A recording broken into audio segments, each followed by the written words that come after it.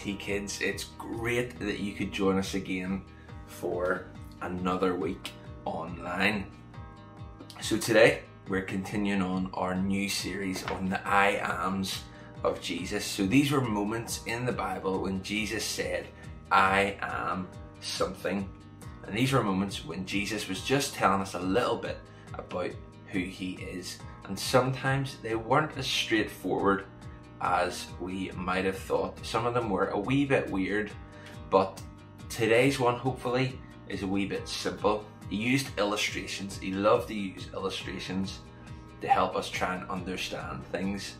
And it just makes us look a wee bit more in depth to try and figure out what he meant. And so today we're looking in John chapter 8. And it says this so Jesus is saying, I am the light of the world.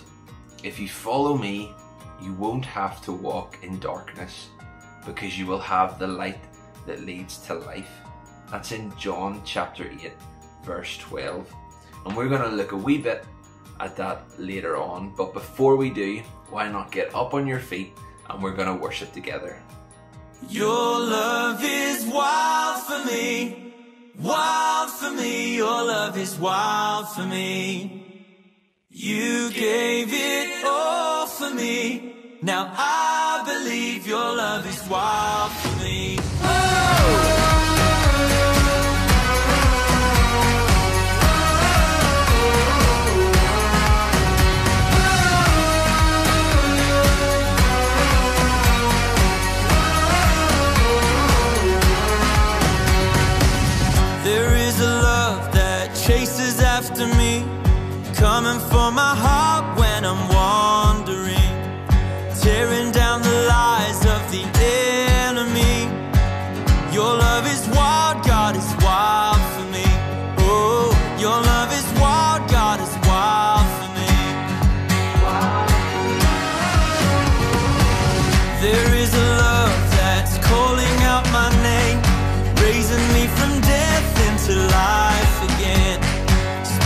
to my soul of its destiny. Your love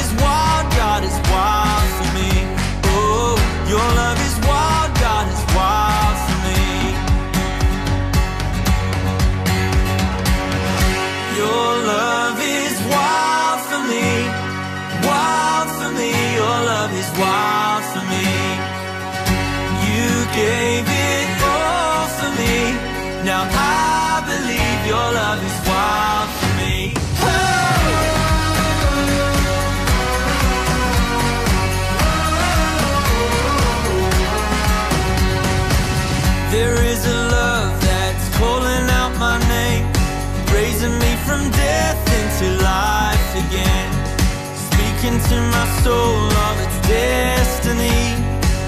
Your love is wild, God is wild for me. Oh, your love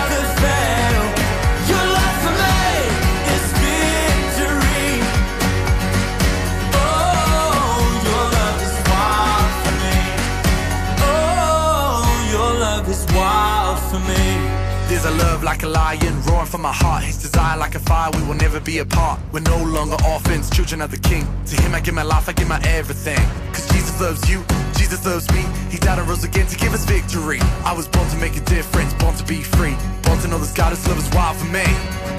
Your love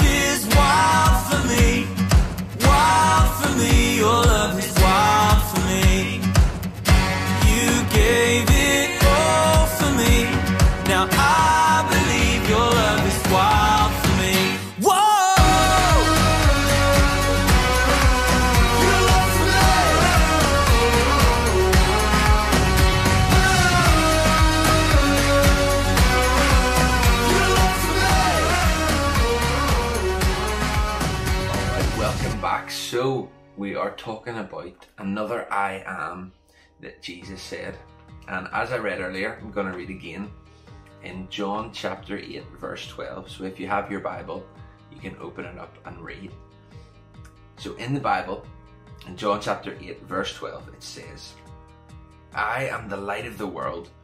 If you follow me, you won't have to walk in the darkness because you will have the light that leads to life. So that was Jesus saying another statement about I am. And he was saying, I am the light of the world. Now, you might be thinking, what exactly does that mean? What does that verse in the Bible mean? Well, what I want to ask you first is, are you scared of the dark? I know I am. And I'm sure we all have experience in being in darkness. Um, who turned the lights off? So, turn the lights back. Thank you. Don't know what happened there, but we don't like the darkness. We prefer when it's light because we can see things. So, just the other night, I woke up in the middle of the night and I was really thirsty. So I thought, I'm gonna go get myself a drink. But it was completely dark. So I got out of bed and I thought, I'm not gonna turn the lights on because I'll maybe wake Danielle and that would not be good. So I was trying to find my way out of the bedroom and I was I was trying to find where I was. I couldn't see anything and oh I kicked the side of the bed. Oh my toe. That was really sore. And I settled myself. I was like, I'm okay. And so I was trying to find my way out again. And now I didn't see a cable on the ground. And oh, I tripped on the cable. This was not going well. And it was all because I was in the dark and I couldn't see. I couldn't see where I was going, where anything was, and I really hurt myself. And when Jesus is saying this in the Bible, what he's saying, like I said earlier, Jesus used illustrations and he was using the illustration of darkness as our sin. And sin is all the wrong things that we do, all the things that disobey God, and our sin separates us from God. And our sin can really hurt us. But what Jesus is saying is that there's a way out of that because He is the light. So when you're walking around the bedroom in the middle of the night and you can't see anything, all you have to do is flick the light on and you can see everything. You can see everything around you. You can see the things that are to hurt you. You can see the things that you have to avoid because there is something pointing you in the right direction. And this is what Jesus is saying right here. Jesus is saying that He is the light, He is the thing that shows us everything around. He's the thing that shows us all the wrong things that are out there that we could be doing, all the things that could hurt us, all the sin. And He is saying that He is pointing us to God, He is pointing us in a better way to live. And so we can come to Him and we can ask Him to be the light in our lives, we can come and ask Him into our heart to guide us and show us what things to avoid, what things to stay away from, and what things will point us to God. He is the light that shows us everything around us. And I hope you can remember that today. And we're going to look a wee bit more at some of the other things that Jesus said over the next couple of weeks. And I hope I haven't taken too much of your time, but I think this is really, really important to know.